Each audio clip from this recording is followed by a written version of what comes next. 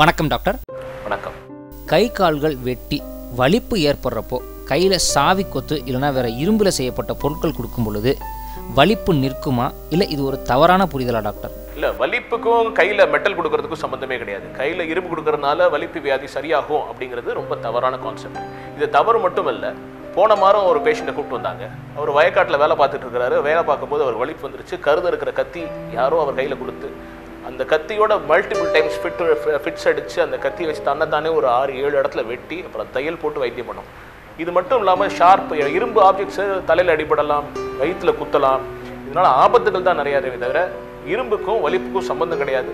இரும்பு கொடுக்கறதுனால வலிப்பு வியாதி நிற்காது தலையில் அடிபடுறனால வலிப்பு வரும்னு சொல்கிறாங்க அது எந்த அளவுக்கு உண்மை டாக்டர்? ஆமா தலையில அடிபடுறதுனால தலைக்காயத்தினால வலிப்பு வரும். வரலாம். தலையில அடிபடும் போது மூளையினுடைய அதிர்வுகள் ஏற்படும் போது ஷார்ட் சர்க்யூட் அடிக்கும். அடிக்கும்போது இந்த மாதிரி ஒரு வலிப்பு வியாதியாக பிரதிபலிக்கலாம். வலிப்பு நோயை அறுவை சிகிச்சை மூலம் குணப்படுத்த முடியும்னு சொல்கிறாங்க அது சரியான முறை தானே டாக்டர்? அதாவது வலிப்புக்கு அடிப்படையான வைத்தியம்ங்கிறது எந்த வகையான வலிப்புங்கிறத பார்த்து அதுக்கு மருந்து மாத்திரை கொடுக்கறது தான். ஒரு சில வகையான வலிப்பு வந்து தீராத வலிப்புன்னு சொல்லுவோம். அதாவது ஒரு நாளைக்கு நாலு தடவை அஞ்சு தடவை ஃபிட்ஸ் வரும். நாலு அஞ்சு வலிப்பு மாத்திரைகள் சாப்பிடுவாங்க. சாப்பிட்டாலும் அந்த வலிப்பு நிற்காது ரெக்கரண்ட்டாக வந்துக்கிட்டே இருக்கும். அவங்களுக்கு இன்வெஸ்டிகேட் பண்ணி பார்ப்போம். பண்ணி பார்க்கும்போது மீஷியல் டெம்பரல் ஸ்க்ளரோசிஸ் அப்படின்னு சில ஒரு சில வியாதிகளோ இல்லை வேற சில நரம்பில் இருக்கக்கூடிய கோளாறுகள்னால இந்த வலிப்பு வருது. அதாவது தீராத வலிப்பு வியாதி வருது அப்படிங்கிறத நம்ம கண்டுபிடிச்சோம்னா அந்த மாதிரி இருக்கிறவங்களுக்கு நிரந்தர தீர்வு கிடைக்கிறதுக்கு நம்ம ஆப்ரேஷன் பண்ணலாம். ஆப்ரேஷன் பண்ணதுக்கப்புறம் அந்த வலிப்பு வியாதி குணப்படுத்த முடியும் இந்த சர்ஜரி பண்ணுறதுக்கு ஹெல்த் செக்கப் அவசியமா டாக்டர் பெரும்பாலும் இந்த தலையில் பண்ணுற நியூரோசர்ஜிக்கல் ப்ரொசீஜர் எல்லாருக்கும் எஸ்பெஷலி இந்த வலிப்பு வியாதி இருக்கிறவங்களுக்கு ஆப்ரேஷன் உடம்பு தாங்குமா?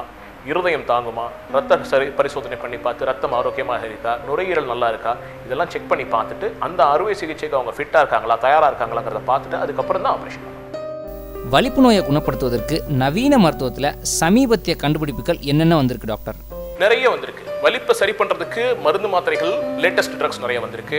வலிப்பை சரி பண்ணுறதுக்கு அறுவை சிகிச்சை முறைகள் நிறைய வந்திருக்கு. எபிலெப்சி சர்ஜரின்னு ஒரு துறையே ஆரம்பிச்சிருக்கிறாங்க.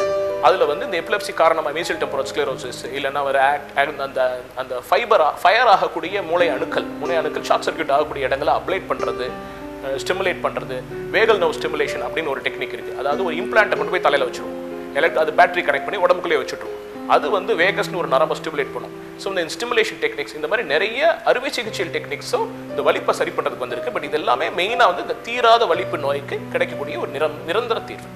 டாக்டர் ஒரு நரம்பியல் அறுவை சிகிச்சை நிபுணரா?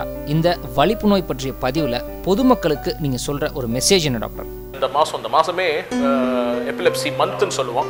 எபிலெப்சி டேங்கிறது நவம்பர் பதினேழு செலிப்ரேட் பண்ணுறாங்க ஸோ நிறைய விஷயங்கள் வந்து டாக்டர்ஸ் பரிமாறிக்கிட்டு இருக்கிறோம். பட் அது நியூரோ சர்ஜன் அறுவை சிகிச்சை டாக்டரை நம்ம முக்கியமாக சொல்ல வேண்டியது என்னன்னா லேட் ஆன்செட் சீஷர் அப்படின்னு ஒரு என்டிட்டி இருக்குது அதாவது நாற்பது வயசுக்கு மேலே இருக்கிறவங்களுக்கு வலிப்பு வந்தால். அதாவது சின்ன வயசில் வலிப்பு வந்ததே கிடையாது.